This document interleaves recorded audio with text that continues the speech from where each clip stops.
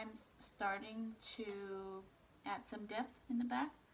And this is just a really light warm gray 40% just gonna do a solid strokes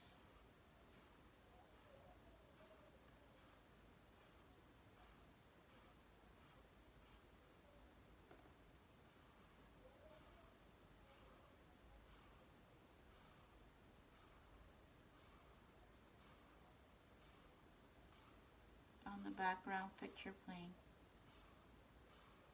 And it adds depth almost instantly